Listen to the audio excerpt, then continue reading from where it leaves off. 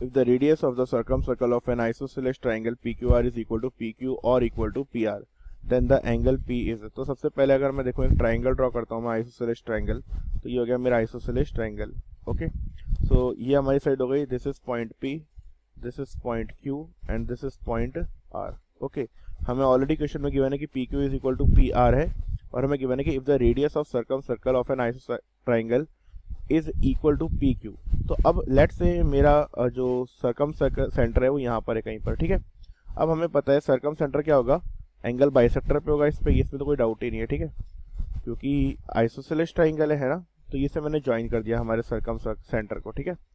अब सरकम सेंटर को मैंने ज्वाइन कर दिया, है ना?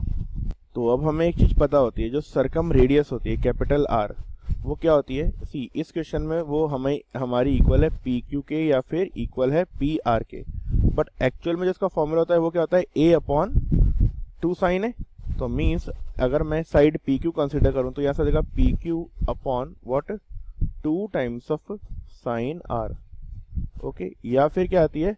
अगर मैं पी आर को कंसिडर करूँ तो आ जाएगी value P R upon two sine Q या फिर मैं कंसिडर करूँगा तो आ जाएगी वैल्यू क्या? Q R upon two sine P तो Q R upon two times of sine P तो ये हमारी वैल्यू आ जाती है ओके अब अगर ये वैल्यू पी क्यू के ही इक्वल है तो यहाँ से मैं क्लियरली बोल सकता हूँ कि पी क्यू जो हमारी सरकम रेडियस है, वो किसके इक्वल आ गई? वो आ गई equal to P Q upon two sine R के। तो वैल्यू आ गई P Q upon two sine R के।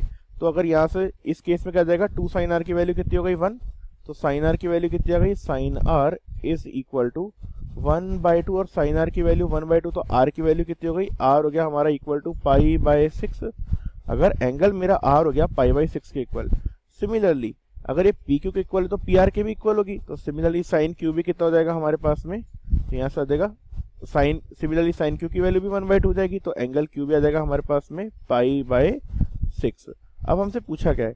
तो हमसे पूछा है then the angle P is angle P क्या हो जाएगा? Angle Q minus angle R तो एंगल पी हो जाएगा हमारे पास में टोटल पाई में से क्या करेंगे? आर माइनस क्यू कर देंगे तो pi minus R minus Q कर देंगे।